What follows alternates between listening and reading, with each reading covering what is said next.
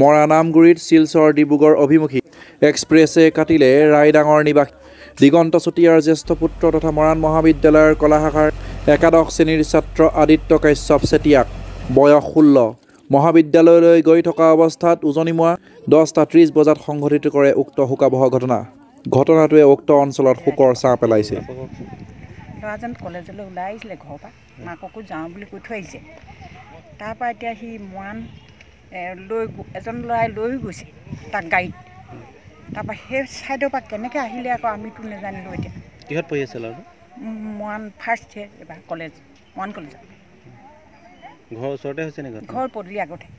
আজি মই ঠিক আমাৰ দহটা পঁচিছমান বজাত মানে চিকিউৰিটি কণ্ট্ৰলৰ পৰা ফোনত গম পালোঁ যে kilometre railway kilometre one oblique six in between মৰাণাট আৰু খোৱাঙৰ মাজত এজন এটা মানে মতা মানুহ ৰাণ মাৰিছে প্লাছ শিলচৰৰ পৰা স্পেচিয়েল ট্ৰেইনখন আপোনাৰ ৰৈ আছে মই ইমিডিয়েট মোৰ এজন ষ্টাফক লগত লৈ ইয়ালৈ আহোঁ আহি পেলাই দেখোঁ বডিটো মানে ট্ৰেইনৰ ভিতৰত ট্ৰেইনৰ তলত ট্ৰেকৰ ভিতৰত আছে এতিয়া আমি ইয়াৰে লোকেল মানুহৰ লগত লৈ বডিটো তাৰ পৰা আঁতৰ কৰোঁ আঁতৰ কৰি ট্ৰেইনখন মানে ইয়াৰ পৰা চলাই দিওঁ।